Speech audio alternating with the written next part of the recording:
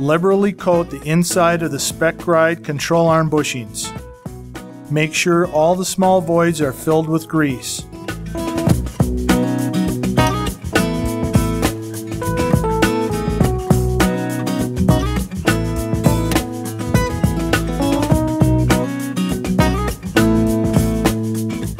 Press a pivot sleeve into each bushing until it is flush with the outside of the bushing. This will push some grease out, which is normal. Use this grease to lightly coat the outer ends of the bushings.